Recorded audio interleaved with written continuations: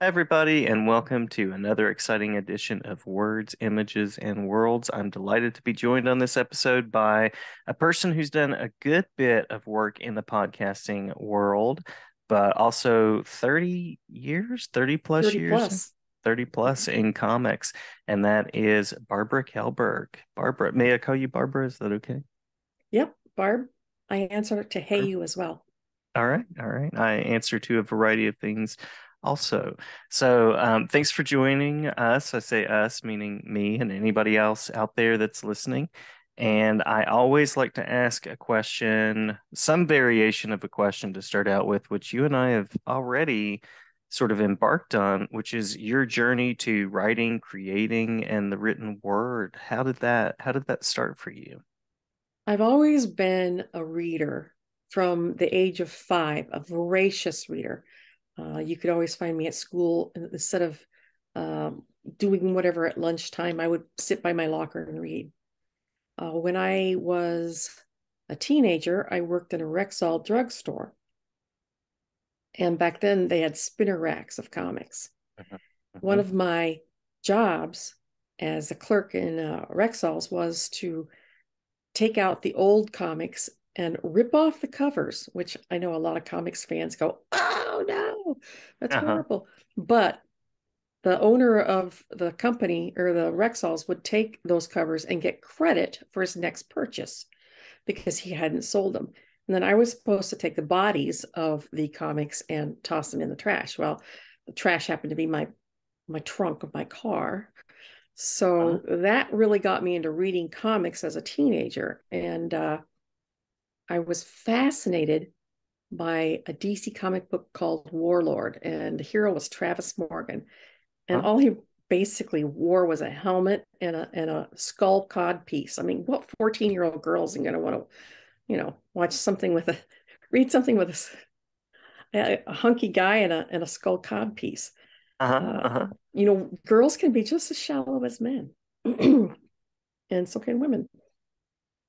So after uh, I graduated high school, I went on to college and I kind of got out of comics and back into completely uh, deep literary books.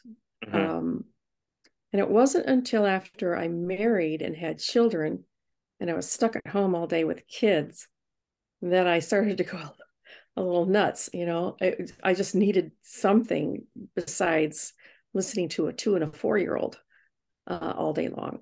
And one day I was in Waldenbooks and I ran across a graphic novel called ElfQuest. And it was all uphill from there. Uphill because I don't want to say downhill, because it very definitely uh, turned into a passion, and my passion turned into a career. So I was one of the uh, the lucky ones who had some artistic talent and fell in love with a craft and pursued it and made it into a career.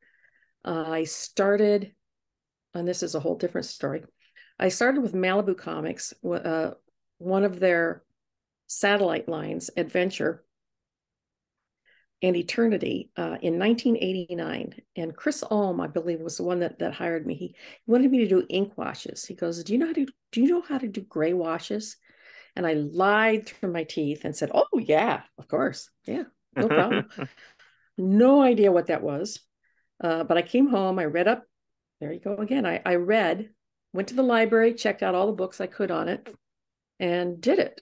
Uh, I had actually been angling for an inking job because I was very good with a brush. Uh, I was an amateur painter. But I finished the, the assignment over two books, two or three books, and uh, they said, "Do you think you'd like to ink Planet of the Apes?" I was like, uh, "Yeah." And that's really where it began. I did 11 issues of Planet of the Apes. And from there, I jumped over to um, Malibu's Ultraverse line mm-hmm. and inked a whole slew of books for them, including every issue of Solitaire. One and, of my uh, favorites. Uh, yeah. Yes, over Jeff Johnson. His pencils are just to die for. And uh, I stayed with Malibu, but I also branched out to Innovation now Warp Graphics. I, I actually did work for uh, the people who got me into it, which was ElfQuest, uh, DC, Marvel, and a whole slew of other people.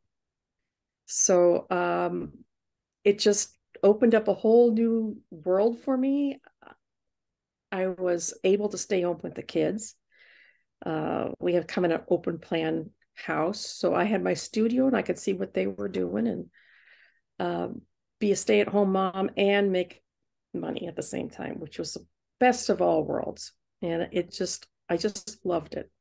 So it's been a, a wonderful, wonderful career for me. And, and even in this late stage in my life, um, I'm still going strong more than ever. Yeah, yeah. So we can we can talk about the things you're working on now if you want, and the things that are next, or we can sort of save that question as the well, I can go, the last piece. Yeah, talk yeah, about it now. Um, I kind of stepped away from comics for uh, several years. Not so much stepped away as just really damped down on it, and only took you know a job here and there uh, because the economy and other things going on my, on my life. Uh, had to keep a roof over our head, such and such. But around eight years ago, uh, we paid the ha- house off, and I told my husband, you know what? I'm going to go down to part time and I am going to jump back into comics. He's like, okay, go ahead. So it wasn't that easy. It, it didn't just like, oh, I'll just jump back in. I hadn't really done uh, a lot of serious work for several years. And if you're, as with anything in the entertainment industry, you're only as good as your last project. Well, there's a whole new crop of artists that have come in since since I'd been through. Uh, even though I, I worked for almost a dozen years for DC, two or more books a month, it was still it was st- still really tough to break back in because uh, I was an unknown again, and I was also up there in years, so it was became very difficult.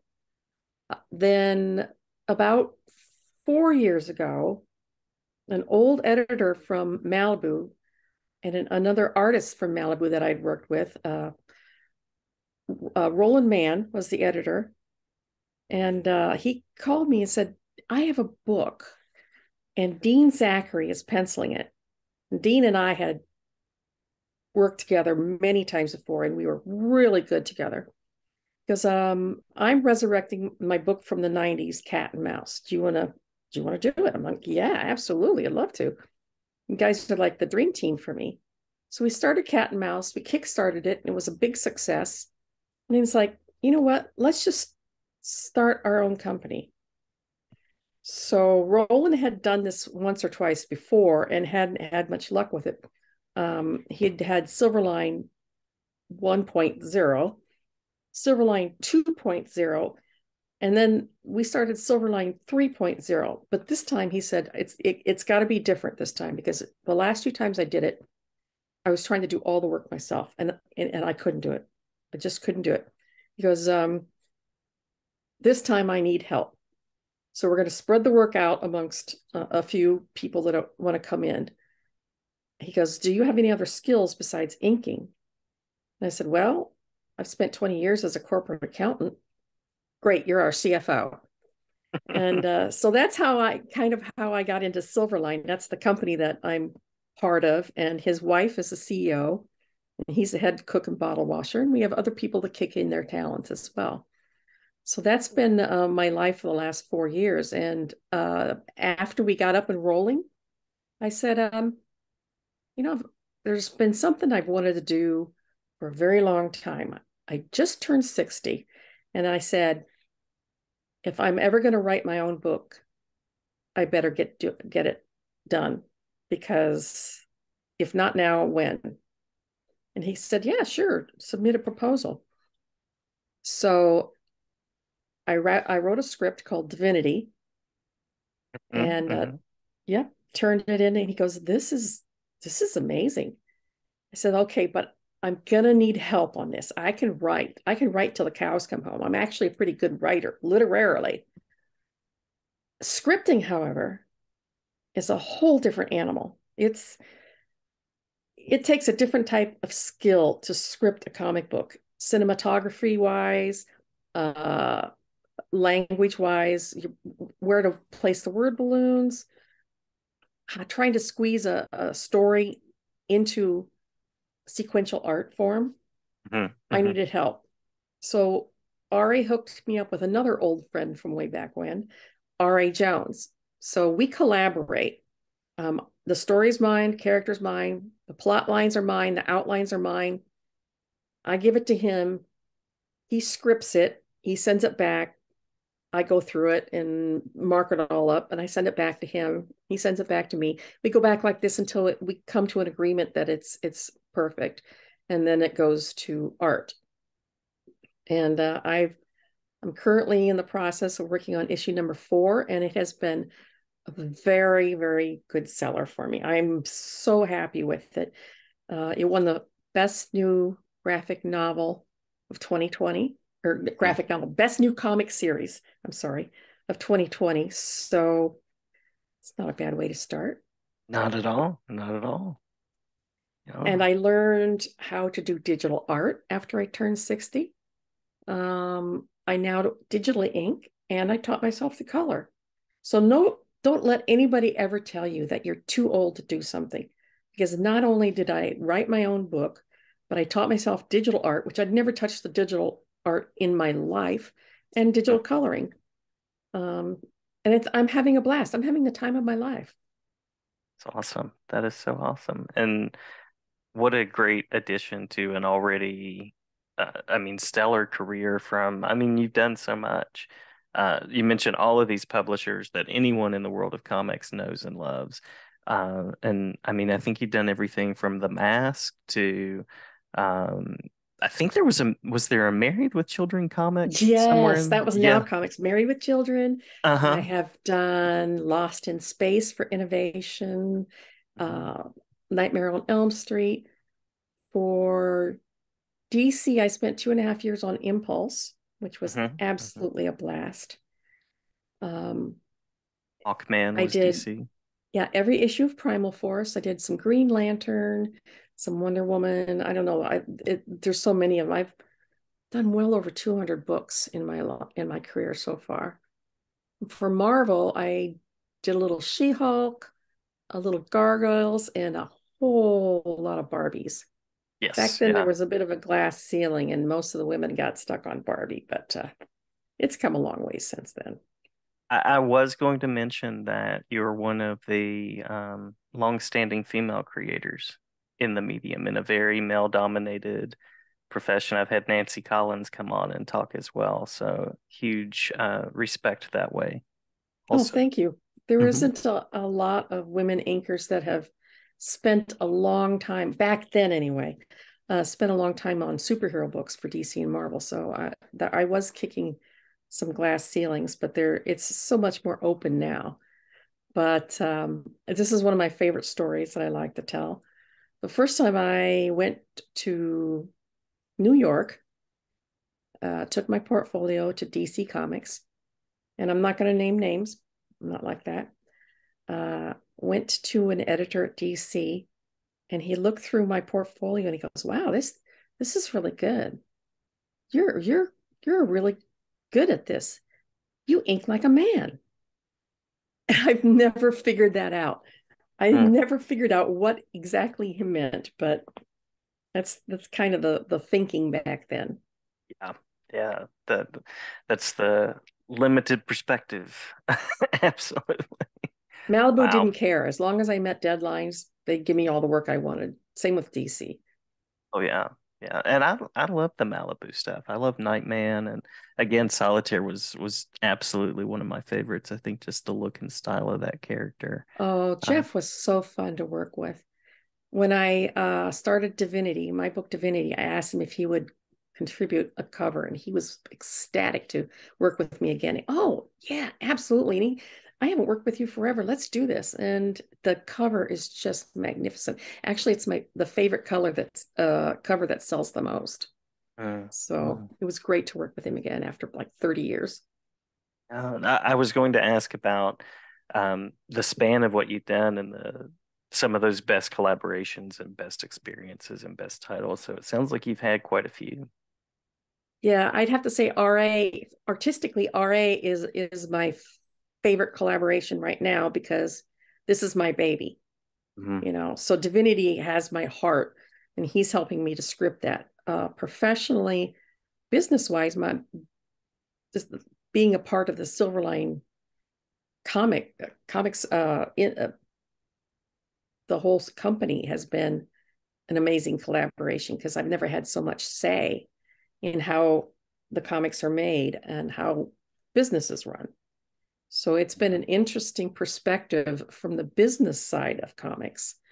Um, obviously, as as a CFO, I see where the money's going. So it's amazing what people don't think about, especially if they're running a Kickstarter. Um, what they don't think about, you have to pay for. All the little, the little details that nickel and dime a person running a Kickstarter to death. If you don't think about this stuff ahead of time, you're going to be in big trouble. And it's amazing what all goes into actually producing, kickstarting, and mailing out books to people. It's uh-huh. not it's not just say, "Hey, back my book, collect the money." No, that that's not where that's where it starts. In the comics process, itself, I think people underestimate the complexity of that and the multiple hands that go into it and layers in the process. It's gotten easier because of the digital press. Uh, it's a lot easier than it was um, back when in the 90s. Even uh, then, comics uh, was just starting to go into the computer colored uh, phase. But before that, excuse me. Before that, uh, if you wanted like um, a color hold on lines, you had to do them in red on a on a separate sheet uh, or red pen so that they could block that out in a whole different in a hand done process. It was a whole different thing, and it was a very much of an assembly line process. It went from the writer back to the editor, from the editor to the penciler, the penciler back to the editor, um, unless they were in a hurry or behind schedule, and then from the editor again to the inker, then to the letterer, then to the colorist. But that was the only way to do it back then because if you were going to turn out one book a month, it had to be an assembly line process. One person could not do it all. Um, things have sped up considerably, especially with digital, um, but it's still it's almost too much for one person to do a book a month, book every quarter maybe, but you still need to have people help you if you're going to turn out consistently. Um, I usually, as I mentioned, the one of the last questions I usually hold is, um, "What's next?" or "What's happening?" But we've kind of talked about that. So I also like to ask what the comics medium has done for you and what it's opened up for you as a storyteller. Um, to sort of dovetail back to that question of what got you on this path, um, what are the possibilities and, and what do you maybe even see next in the world of comics? I believe that independent comics are the future of comics. I think the days of, and not to say that I don't love DC and Marvel, I do, I really do. I collect DC and Marvel.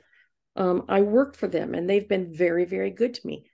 But I don't think they're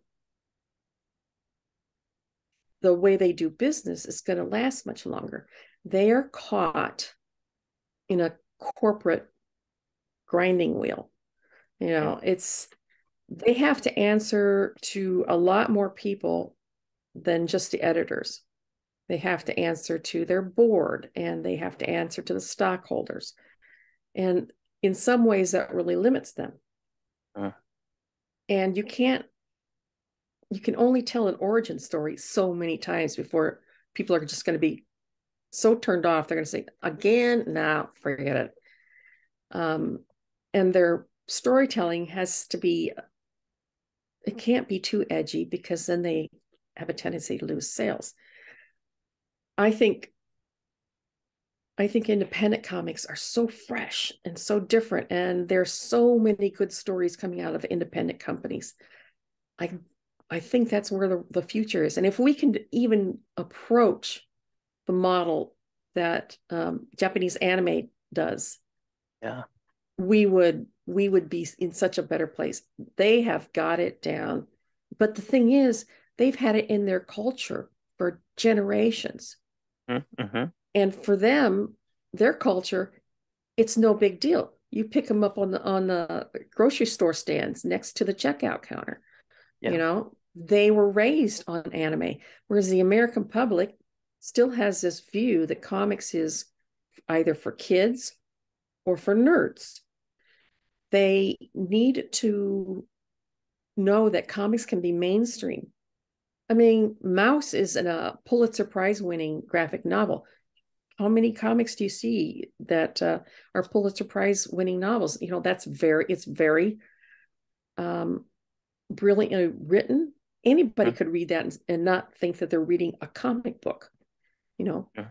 And it is mm-hmm. becoming more acceptable to read graphic novels because they don't have the word, the connotation of comics on them. But still, the American public is still not conditioned to look at comics as a legitimate source of literary knowledge. I think we need to change that, but I'm not sure how. I agree. I agree. And I used to use the words graphic novel a whole lot more. Um, and a lot of times just to push that term back to comics because there's nothing wrong with calling a comic a comic or a long form comic or whatever you want to call it. Um, so I, I agree with you on that. And I also I love the innovation that is part of the independent publishing world and the voices that are opened up as part yeah, of that. Yeah, it's too. so fresh and exciting. It's like for me, it feels like it's the wild, wild west of comics. Uh, and I think it has become more accessible. The making of comics has become more accessible with uh, the internet, web mm-hmm. comics, the idea that you can do short run comics. The, the printer that we use, Ka-Blam, they'll do one book if you want, or they'll do 25 or 500. You know, the ability to print on demand has changed the entire industry. Mm-hmm. Yeah, lots of lots of wonderful things happening and hopefully ahead and um, wonderful conversation. Did did I miss anything that you want to make sure to mention before we conclude the the conversation? Well, I definitely want people to check out our company, Silverline Comics. You can go to mm-hmm. silverlinecomics.com. You can get um, most of our books are there's a link on that web page that'll take you to Indy Planet or any of the Kickstarters that we uh, we're doing like four Kickstarters a year. Any of the Kickstarters that we have, you can buy all the back issues of any book that we've done. And um, I'm in the process of doing issue number four of Divinity, and that will not be the end. Great. So I've got the whole next arc figured out. Glad to hear it. Glad to hear it. Um, and I'll link the website in the description of the podcast for folks that want to check that out. And thank you for the the amazing work that you've done, the the breadth, the depth, and thanks for taking some time to talk with me about it. Oh, you're welcome. If anybody wants to follow me on my socials, I'm the only Barbara Kaalberg on the internet. Not hard to find me, especially on Facebook or Instagram or Twitter. So look me up. I would be more than happy to connect with people. I'm a big believer in uh and we're all in this together. Absolutely. Thank you so much. And um, hopefully we'll we'll have you back on at some point to talk about the next phase in Silverline and uh, where divinity has gone and all of those things. Thank you. I appreciate being here. My pleasure and and thanks again.